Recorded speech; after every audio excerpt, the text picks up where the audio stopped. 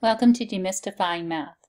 In this lesson, we're going to be finding the domain of logarithmic functions. Let's start with the function log base 2 of x. We're going to rewrite it exponentially so that we can plug in values for y instead of x. So our base is 2, our exponent is y, and it's equal to x. Now we're going to complete the table. We're going to plug in a negative 2 for y. 2 to the negative 2 is 1 over 2 squared, which is 1 fourth. 2 to the negative 1 is 1 half. 2 to the 0 gives us 1. 2 to the first is 2. And 2 squared is 4. Now you go ahead and plot those points on a grid. I'll show you my graph here. Notice that I drew a vertical asymptote at x equals 0. That's because 2 to the y can never equal 0. Think about putting in positives or negatives as we did, and it's just never going to give you out a 0 for x. In the same way, you can't get out a negative because your base is positive. So x can never be a negative. So that means that we have a domain from 0 to infinity. The range for this graph is all real numbers. So let's keep in mind that if you have log base 2 of x, the x is only going to be a value from 0 to infinity. If we replace x with any other expression, that expression has to be greater than 0. So here we replaced x with x squared minus 2x. Let's first factor the x squared minus 2x. So this becomes a product of x times x minus 2. That x times x minus 2 has to be greater than 0. There are two key points here, and those key points are where x times x minus 2 equals 0. And that would be where x is 0 or 2. So we're going to put those two numbers on a number line. We're breaking the number line up in three intervals, and then we're going to test points on each interval. So let's test a point to the left of 0. So I tried negative 1. Plugging in negative 1 gives me 3, which is greater than 0. So that indicates that everything on that interval that's less than 0 is going to be part of the domain. Try testing another point that's less than 0, for instance negative 2. Negative 2 would give you negative 2 times negative 4, which is positive. So everything on that side is going to give you two negatives multiplied together, which gives you a positive, and they're all going to be included in the domain. Let's try a point between 0 and 2.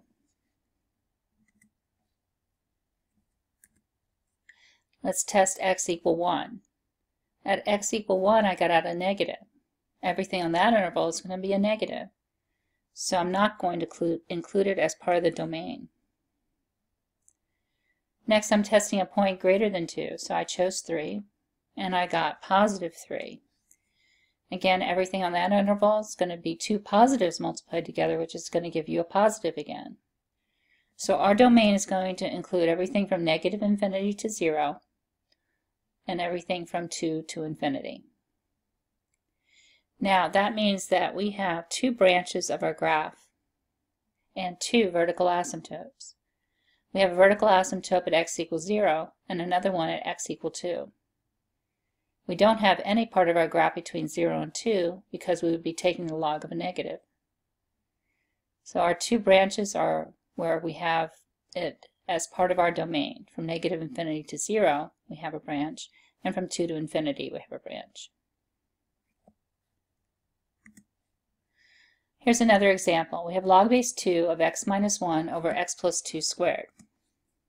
To find the domain, we're going to set the ratio greater than 0. Now when you're looking at the key points for a ratio, you want to include where it's 0 or where it's undefined. In this case, it would be 0 at 1 and undefined at negative 2. So we're going to put both those numbers on our number line and test points on each interval. So we're going to test a point to the left of negative 2, so I found negative 3. And that gave me a negative, so I will not include this interval as part of my domain. Testing a point between negative 2 and 1, I tested 0. And I got a negative 1 fourth.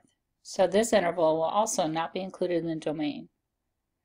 Testing a point beyond 1, I chose to test 2, and I got a positive. So I'm going to include that interval on my domain. I'm not including the 1 because that's where it is 0, and we can't take the log of 0. So the only place where we're going to have a positive for this ratio is beyond 1. So our domain is from 1 to infinity, which means that our graph has one vertical asymptote at x equal 1, and our graph is going to be strictly to the right of that line.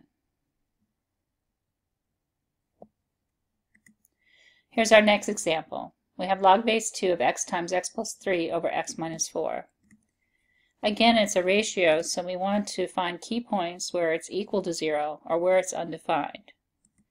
So it'll be equal to 0 at 0 and negative 3 and undefined at 4.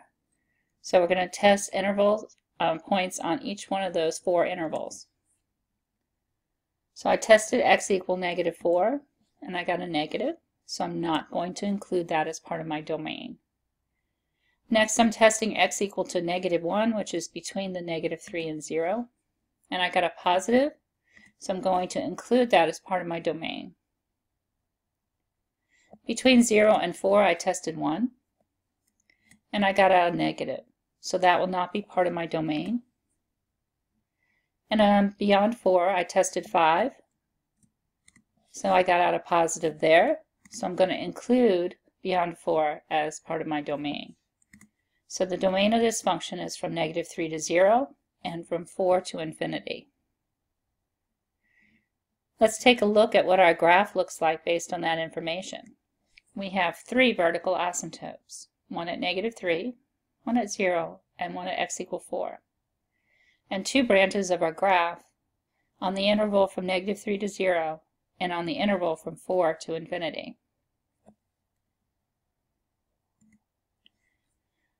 Again, working with the same function, we're going to expand it out, or we did expand it out. And remember that when you expand it out, what's in the numerator has a positive in front of it, and what's in the denominator has a negative. When you're looking at the domain of the expanded version, it's a little bit different from the original. If you look at log base 2 of x, the x there would have to be greater than 0. For log base 2 of x plus 3, it would have to be greater than negative 3.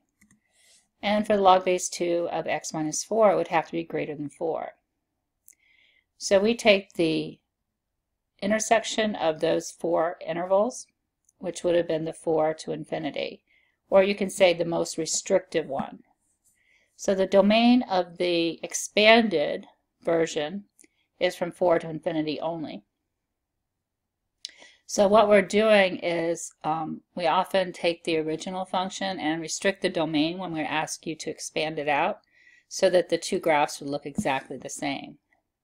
So this graph only includes the interval or the branch that was beyond 4. It doesn't include the other interval that we found between 0 and negative 3. So oftentimes when they give you this um, instructions to expand, they'll say x is greater than 4 and that's because they want the more restrictive domain. Okay, thank you for watching Demystifying Math.